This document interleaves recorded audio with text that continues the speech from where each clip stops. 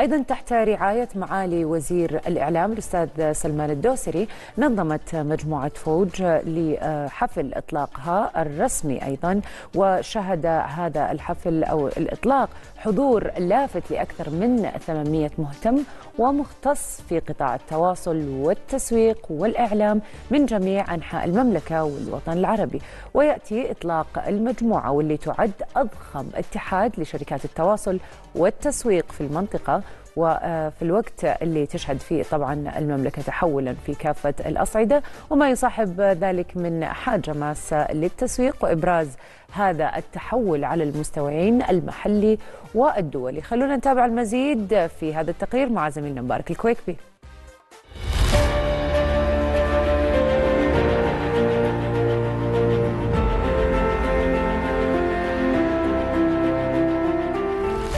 الحمد لله يعني هذا كان حلم متحقق تتوج بتشريف معالي وزير الإعلام وكل الحضور اللي موجودين شباب وبنات أكثر من 40 شاب وبنت أسسوا مشاريعهم من عشر سنوات وكافحوا واجتهدوا في هالقطاع هذا واليوم الحمد لله كلهم اتحدوا عشان يكونون كيان يخدم الفترة ويخدم الجهات على أعلى مستوى ويكون منافس إقليميا وعالميا بإذن الله.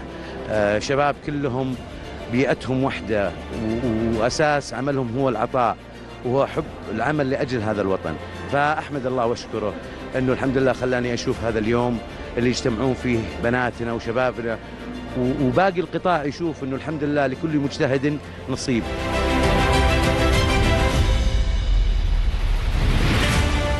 لولا الله ثم رؤية يعني سمو سيدي ولي العهد أنه طموحنا على أنان السماء ما كان شفنا هذا اللي موجود. ما كان شفنا الحكومة تتسابق لخدمة القطاع الخاص والقطاع الخاص يحاول أن يعطي أكثر ما عنده. الحمد لله اليوم ما بقى شيء ما سويناه. كل شيء قاعد يجينا. اليوم إذا ما كنا حنا تحملنا مسؤولية وأسسنا كيانات كبيرة تقدر تختم المرحلة القادمة ما حنا بكفو. اليوم دورنا حنا أنه فعلا نكون قادرين إلى أنه إن شاء الله ننجز ونبيض الوجه بإذن الله.